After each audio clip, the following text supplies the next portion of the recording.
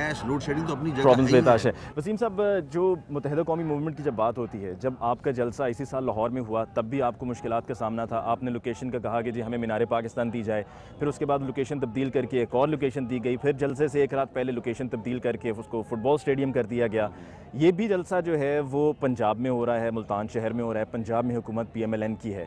तो इस जलसे के हवाले से क्या आपको मुश्किल का सामना करना पड़ा है अब तक? नहीं अभी तक तो ऐसी कोई बात नहीं आई है। एडमिनिस्ट्रेशन जो है वो हमें हमसे ताउन कर रही है। और ऐसी कोई चीज़ नज़र नहीं आई कि कहीं रुकावट की जाए।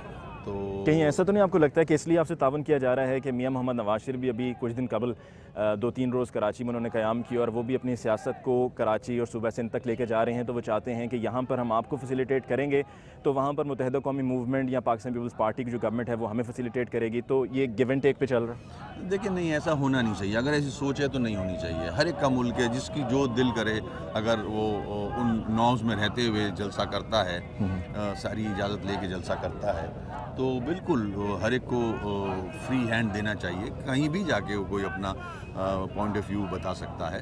अगर वो वहाँ जलसा कर रहे हैं सिंध में तो बिल्कुल करें कराची में करें। अ, और हम यहाँ करना चाहते हैं। माजी में ऐसी चीज़ें आई हैं मिसालें हैं हमारे पास मगर हम तलखियों में नहीं जाना चाह रहे रुकावटें हुई हैं। आज इस जलसे के हवाले से हमें एडमिनिस्ट्रेशन जो है वो सपोर्ट नॉट सपोर्ट कॉपरेट कर रही है।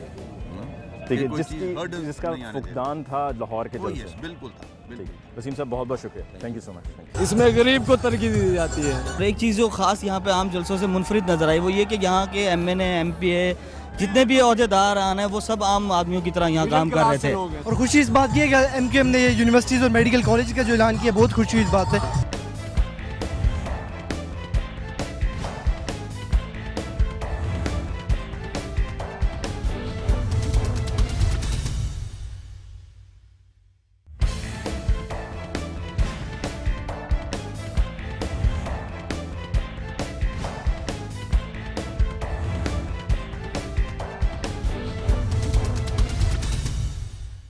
जी मुतहद कौमी मूवमेंट का ये जलसा दिफाए पाकिस्तान के नाम से और मुतहद कौमी मूवमेंट के कायदीन से गुफ्तु का ये सिलसिला इसको आगे बढ़ाते हैं। हमारे साथ मौजूद हैं फैसल सफारी साहब।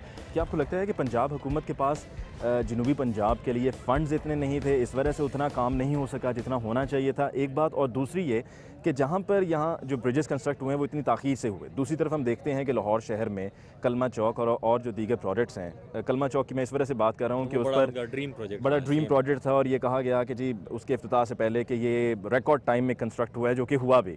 और उसको जाके खुद उसका मुआयना किया जाता रहा सीएम साहब की तरफ़ से शहबाज शरीफ साहब की तरफ़ से कि जी उसकी कंस्ट्रक्शन कहाँ तक पहुँची है और अपनी गिवन डेट पर वो मुकम्मल होता या नहीं होता। तो लोग ये कहते हैं कि वहाँ पर जब ये हो सकता है तो फिर यहाँ पर क्यों इतनी ताख़ीर? बिल्कुल जायज़ ऑब्जर्वेशन है। अब बेसिकली देखिए प्रायोरिटीज़ की बात है कि आपकी तरजीहत क्या है और आपकी तरजीहत नज़र आ जाती हैं। जहाँ तक आपने फ़ंड्स की बात की है, देखिए नेशनल फाइनेंस कमीशन में हम तो सूबह सिंध के हवाले से, क्योंकि मैं मेंबर हूँ असम्बली का दो दफ़ा तो मैं तो हम तो शिकवा करते चले आए हैं कि पंजाब को जो है जो शेयर मिलता आ रहा है, वो बहुत बड़ा लायंस शेयर है। लेकिन उसके साथ साथ एक प्रोविंशियल फाइनेंस कमीशन भी है। और प्रोविंशियल फाइनेंस कमीशन एड्रेस करता है मुख्तलिफ़ ज़िलों और शहरों के दरमियान फंड्स की तकसीम को। तो क्यों कर मुमकिन नहीं बचा बनाया जा सका? हमें तो बताया गया कि मुल्तान डेवलपमेंट अथॉरिटी के कोई 80 करोड़ रुपए प्रोविंशियल गवर्नमेंट ले गई। Instead of spending more 80 crore here यहाँ के अस्सी ये लोगों के जहनों में खदशात हैं। खदशात। ये उनके तहफ़ात हैं जिनको दूर करना जो भी हुकूमत वक्त है उनका काम है। हम हुकूमत में नहीं है लेकिन उसके बावजूद हम हमें एडवांटेज यहाँ पर ये हो रहा कि एक तो हम उसी क्लास की बात नहीं करते उसमें से हैं ठीक है। जो कि यहाँ की अक्सरियत है। नंबर टू ये कि हमें एडवांटेज ये होगा इन लोगों की बातें सुन के हमारे अपने मंशूर में हमारी अपनी पॉलिसीज़ में रिफ्लेक्शन नज़र आएगा आ, इस नासूदगी का इस फ्रस्ट्रेशन का। और हमारी जो अभी मंशूर साजी हो रही है जो भी पॉलिसी साजी हो रही है उसमें आपको ये तमाम के तमाम नकात एड्रेस होते हुए मिलेंगे। ठीक है बहुत बहुत शुक्रिया। व्यूज़ हमारे साथ अब बाबा खान गौरी साहब मौजूद हैं इनसे बात करते हैं जलसे के हवाले से और और भी इसके अलावा जो मुल्क में हम देख रहे हैं कि सियासी सरगर्मियाँ अरूज पर हैं जलसों पर जलसे। किए जा रहे हैं, कभी लाहौर में, कभी कराची में और मुल्क के दीगर इस्लाम में भी। बाबर खान गौरी साहब, आपका बहुत बहुत शुक्रिया कि आपने हमें वक्त दिया। ये बताइए कि जो आज का जलसा है, ये किसी मखसूस जवाब जमात को जवाब देने के लिए आपकी तरफ़ से कि हाँ जी, देखिए, हमने कितना बड़ा शो कर दिया और कितनी बड़ी तादाद में सुबह पंजाब में लोगों ने हमें रिस्पॉन्ड किया? नहीं, हम किसी को जवाब देने के लिए नहीं कर रहे। देखें, पाकिस्तान के अंदर पाकिस्तान के आइन के मुताबिक हर पॉलिटिकल पार्टी को ये आईनी हक हासिल है कि वो पाकिस्तान के किसी भी शहर, किसी भी जगह, किसी भी देहात में अपनी पॉलिटिकल एक्टिविटीज़ करे, जल से करे। हर एक को आज़ादी होनी चाहिए। तो हम किसी के जवाब में नहीं कर रहे हम अपना पैगाम लेके आए चौंसठ सालों से साउथ पंजाब के लोग, जिन लोगों को मंतखब करके अवानों में भेज रहे हैं, वो उनके मसाइल हल नहीं कर सके। आज पीने का पानी जो है, वो साफ़ पानी यहाँ पे मौजूद नहीं है।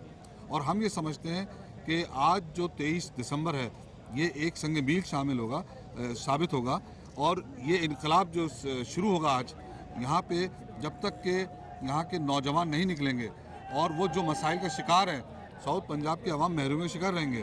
इसी हवाले से कायद तहरीक आज पंज, साउथ पंजाब के लोगों की जो महरूमियाँ हैं उनकी जो सूबे की डिमांड है दुनिया में भारत आपके साथ मौजूद है नौ सूबे से आज छत्तीस सूबे बन गए।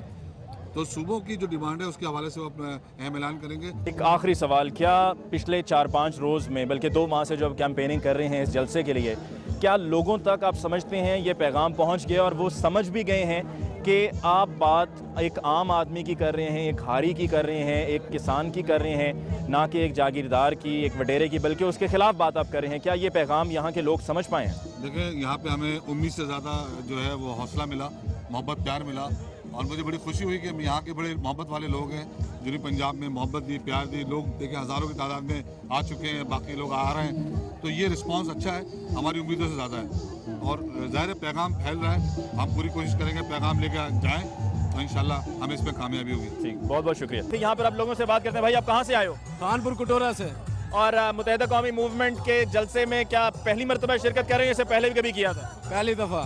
और क्या वजह है कि यहाँ पर आए और मजबूर हो गए कि इस जलसे में जाके शिरकत करनी चाहिए? इसमें गरीब को तरक्की दी जाती है। ठीक है भाई आप कहाँ से आए हो?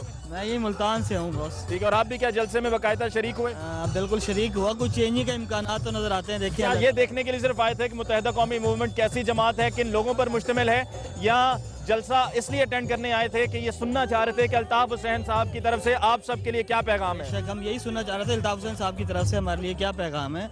और एक चीज़ जो ख़ास यहाँ पे आम जलसों से मुनफरद नज़र आई वो ये कि यहाँ के M N M P A जितने भी अहदेदार आन हैं वो सब आम आदमियों की तरह यहाँ काम कर रहे थे। सब सब वो आम आदमियों की तरह काम कर रहे थे जबकि और किसी जलसे में ये चीज़ हमें नज़र नहीं आती। ठीक है। कोई कोई वडेरा कोई जागीरदार कोई भी साबित आपका आपका ताल्लुक इस इलाके से कहाँ से आया हो? मैं बलूचिस्तान जाफराबाद से आया हुआ हूँ।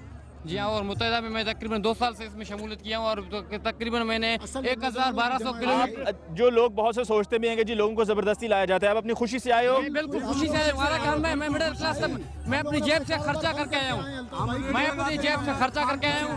मैं आया हूँ। सच्चे लीडर हैं जिन पे हमें अल्लाह पे भरोसा अल्ताफ भाई पे भरोसा है। ये मैं बता रहा हूँ एक मैं बलोच होकर मैं बता रहा हूँ कि अल्ताफ हुसैन। आज जो लोग पंजाब के लोग हैं उनके शहर में हम लोग मेहमान हो गया हैं बलोचिस्तान से हैं। मैं कसम उठा के कहता हूँ अल्ताफ भाई जैसा लीडर बेहतरीन कोई भी नहीं है। ठीक है भाई आप कहाँ से आयो हो? मैं मुल्तान से ही हूँ मैं बिल्कुल। मुल्तान शहर के खास रहने वाले हो? और खुशी इस बात की है कि एम के एम ने ये यूनिवर्सिटीज़ और मेडिकल कॉलेज का जो ऐलान किया बहुत खुशी इस बात से। काफ़ी दिनों से मुल्तान को पीछे रखा जा रहा है तालीम के आप नौजवान हो नौजवानों की बात पाकिस्तान तहरीक इंसाफ भी कर रही है। क्या आप उनकी जो आवाज़ है उसमें आवाज़ मिलाने से यहाँ पर आवाज़ मिलाना बेहतर समझते हो? हम जिसका मंशूर अच्छा है जो हक के लिए बात करें हम उसके लिए लड़ेंगे इंशाल्लाह। और ये बहुत खुशी है कि मेडिकल कॉलेज और यूनिवर्सिटी की जो बात की है। इंशाल्लाह हम इनके साथ हैं। जो भी जिसका अच्छा मंशूर है। आगे बढ़ते हुए जी कुछ और लोगों से बात करते हैं। भाई ये बताओ कि आपका ताल्लुक क्या मुतहदा कौमी मूवमेंट से है या आप एक आम जनूबी पंजाब के रहने वाले नहीं हम मेरा तल्लक एम क्यू एम से है और मैं डिस्ट्रिक्ट बॉडी का मेंबर हूँ बहावल नगर से मैं आया हूँ। और हमारा सबसे बड़ी ये जो प्यार है ये कायद के साथ इतना प्यार है जो पार्टी के साथ प्यार है। हमारा और कायद के दरमियान गैप नहीं है। वो वही बात करते हैं वो खुद मुतवसत तबके से और हम खुद मुतवसत तबके आपको लगता है कि वो आपकी बात करते हैं? भाई आपका ताल्लुक कहाँ से है? मैं कैंट का हूँ। मुल्तान कैंट के आप रहने वाले हो? कैंट लाल पट्टी ठीक है और ये बताओ कि आज आप मुतहदा के जलसे में आए आपने आके यहाँ पर शिरकत की। आपको क्या लगता है कि क्या मुतहदा कौमी मूवमेंट एक ऐसी जमात है जो कि एक आम आदमी की जमात है एक मजदूर की जमात है? ये एक मजदूर की जमात और ये इंशाल्लाह कामयाब होएगी। है क्योंकि एक मिडिल क्लास की है ये। हमने सबसे हाथ मिलाए हैं जितने भी सियासी। एक मेहनत तबको की जमात है ये।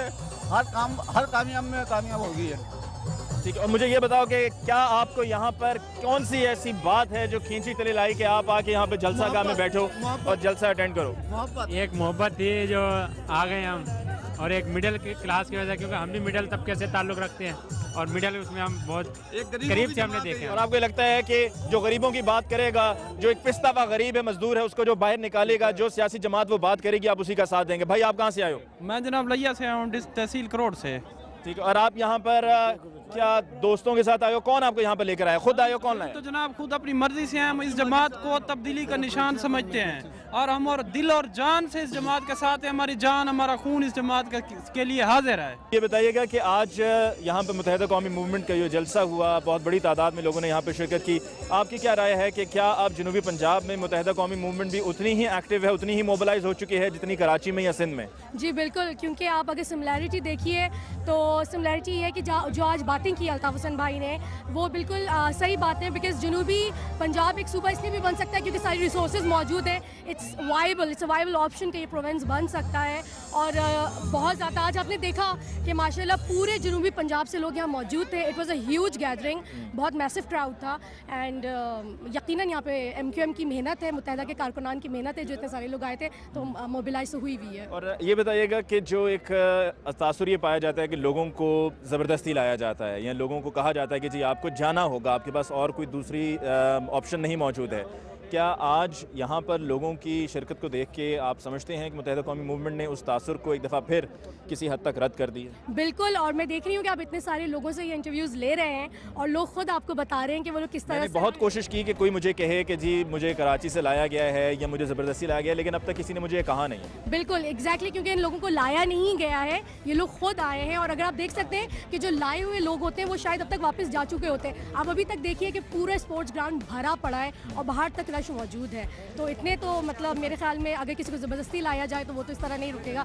उनके चेहरों पे वो एक खुशी और एक एक्साइटमेंट मौजूद है कि yes they are the part of the revolution जिसकी बात अल्ताफ़ भाई आज कर रहे थे। पहले यूथ का जो तस्वुर था वो सबसे पहले एम ने ही पेश किया और जो अभी तक बरकरार है लोगों में। यहाँ का पूरा माहौल बहुत इंजॉयबल था। जितने यहाँ पे लोग आए डिसिप्लिन बरकरार बरकरार रहा और फिर पूरे इंतज़ाम बहुत अच्छा किया गया था यहाँ पे।